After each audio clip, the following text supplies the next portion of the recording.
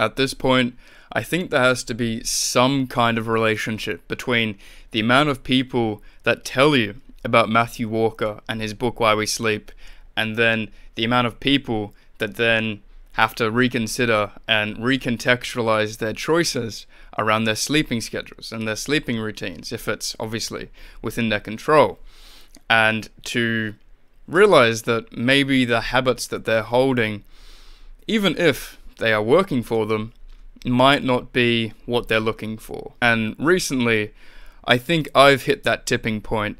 The amount of times I have heard about Matthew Walker and his book, Why We Sleep, is astounding. And so I think at this point, I would almost be doing myself a disservice if I didn't at least consider what was said and to at least try what has been mentioned and to you know reflect on my own sleep schedule as compared to the regular routine of simply doing as much as I can and unfortunately a lot of the time my sleep can tend to take a hit as a result of that prioritization. I've wanted to make this video for quite a while now, and the thing that actually brought it to the forefront of my mind was actually a challenge set to me by a close friend. And I'll spare you the details, but I ended up losing the bet.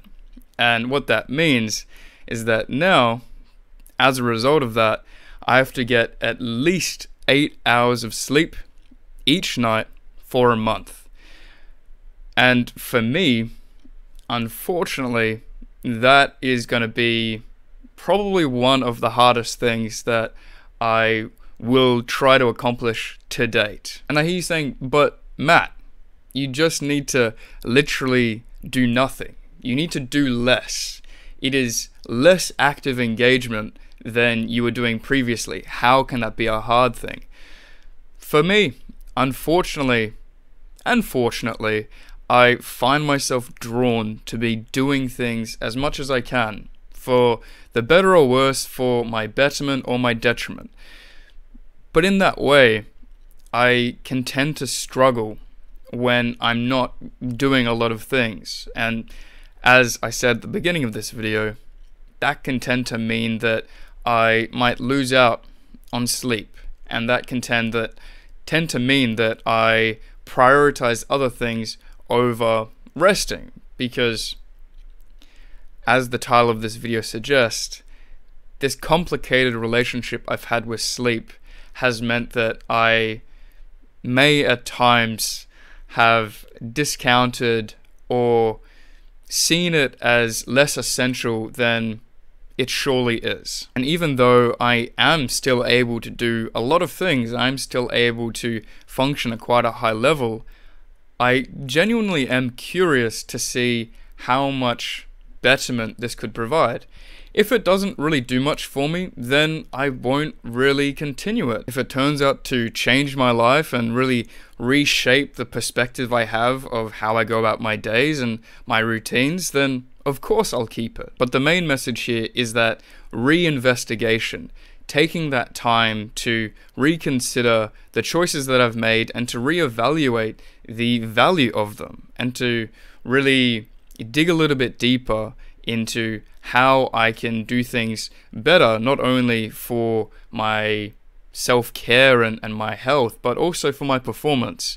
Because if this is something that can kind of help in both areas, it wouldn't make sense not to do it. And as a part of this next 30 days of doing my absolute best to get 8 hours of sleep each and every night, I'm also going to be reading Why We Sleep. So I can hopefully not only get the experiential component, but I can educate myself a little bit more on this topic because if there is so many people in my life that I love and respect telling me that it is of value, then it again wouldn't make sense not to take that into consideration. So that's all I have for you today. Just a quick little update on an interesting challenge that I'm really keen to pursue. And if any of you think that it sounds interesting as well, then feel free to follow along and do it with me or do it in your own time whenever you view this video. And I'd be really keen to hear how it goes for you, whether that is in the comments or maybe even a better place would be in our recently formed Discord channel where it's slowly finally starting to take off and get some traction and get some interaction. And I've been really enjoying seeing the kind of conversations and dynamic that is starting to develop there. So feel free to check that out. The link will be in the description below. And if you're wanting to be, you know, a little bit more in touch with the kind of daily things that I'm doing, then I'll also have my Instagram linked in the description as well. But as always, thanks for watching. Thanks for being here and do more than you think you can.